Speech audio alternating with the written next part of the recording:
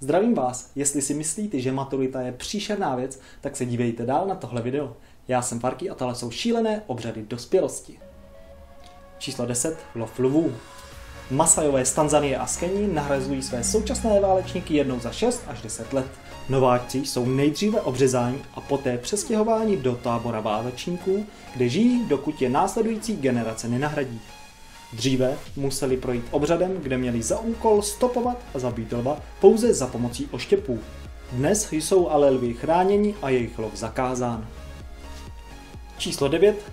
Tetování obličeje. Dívky z kmenů Fula v západní Africe si musí před dospělostí nechat potetovat obličej. Tento proces trvá několik hodin a je prováděn naostřeným kusem dřeva. V případě, že dívka pláče nebo se šklebí, je považována za příliš mladou a musí čekat na dokončení tetování, než se smí vdát. Číslo 8. Cesta divočinou. Mnoho kmenů z Austrálie posílá své mladé do divočiny. Tam musí vydržet až 6 měsíců v izolaci od ostatních.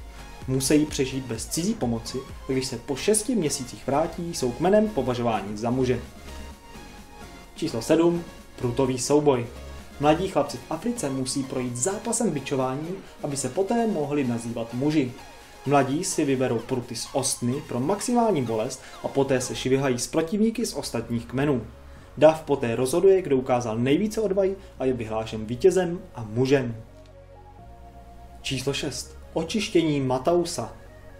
Papua Nová Gvina je domovem mnoha tradic, jež musí mladí uskutečnit, aby se stali dospělými. Kmen Matausa věří, že si chlapci nikdy neuvědomí svoji pravou sílu, dokud není jejich tělo očištěno. To probíhá tak, že si musí strčit do krku dva klacíky, dokud se nepozrací. Poté jim je vraženo do nosu rákosí a zároveň jsou bodnuti do jazyka, čímž se zbaví nečisté krve.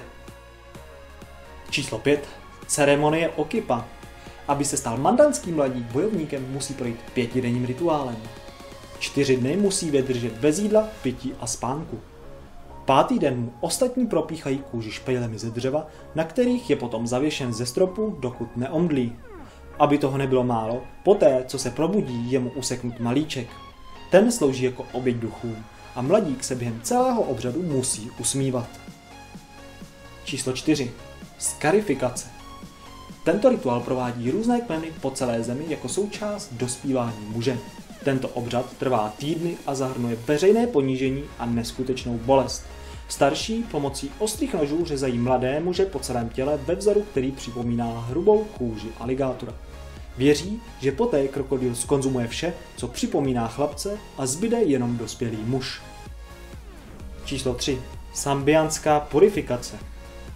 Další kmen z Papuj Nové Gvinej, Sambiové mají hrozivé sexuálně orientované obřady. Mezi sedmým a desátým rokem jsou chlapci odvedeni do komunit, kde jsou pouze muži.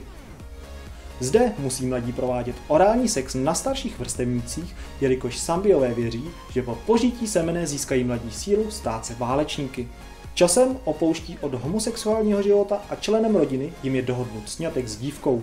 Během života jim je navíc silou vrážen klacek do nosu, který způsobuje krvácení v nosu v období, kdy žena menstruuje, aby nebyli zlákáni ženským pachem.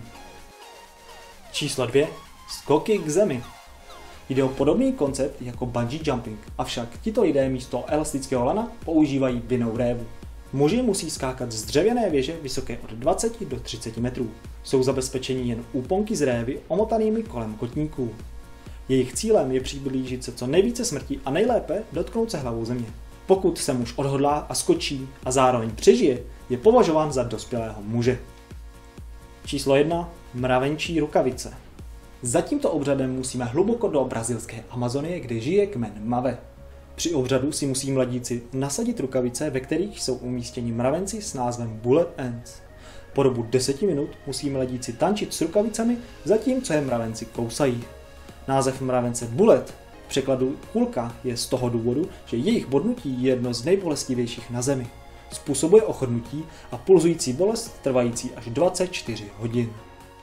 Tak co, ještě se vám po tomhle videu zdá maturita příšerná? Mně taky ne. Jestli se vám video líbilo, dejte palec nahoru a jestli chcete vidět podobný video jako tohle, dejte subscribe. Já jsem Parky a uvidíme se zase příště. Čau.